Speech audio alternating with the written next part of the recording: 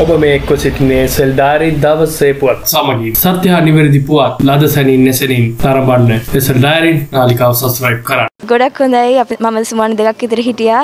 දෙල්ලි හයිදබාත් මුම්බයි වල ගොඩක් වැඩ කටයුතු කරා. ඉදිරියේදීත් බලාගන්න පුළුවන් ඉතරට එන්න තියෙනවා තව ටිකක්. ගොඩක් සතුටුයි. අපේ බෑන්ඩ් එකත් ගියා. ඒගොල්ලන් හොඳින් ප්ලේ කරා. ගොඩක් හොඳ ප්‍රතිචාරයක්. මම ඇත්තටම හිතුවේ නැහැ.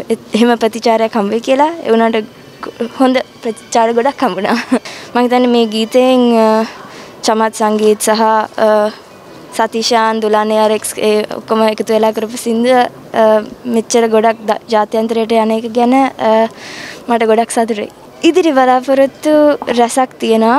පලනිටම මම මගේ ඇල්බම් එක ගැන තමයි ගොඩක් කරන්න බලාපොරොත්තු වෙන්නේ. ඉතින් ඇල්බම් එක කටයුතු කරගෙන යන මේ දවස්වල. ඔබගේ ජනප්‍රිය හරහා දේශපාලනයට එන්නේ නැහැ අනිවාර්යෙන් මම ආටිස් කෙනෙක් හෝ සංගීත ශිල්පය හදාරන කෙනෙක්. ඉතින් ඒ මට ඇති.